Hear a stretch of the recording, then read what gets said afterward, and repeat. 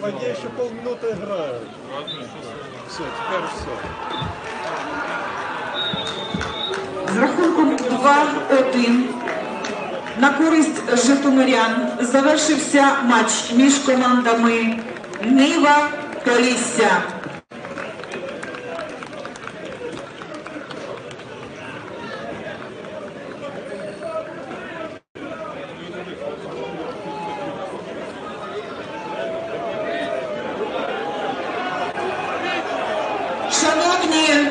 Глядачі,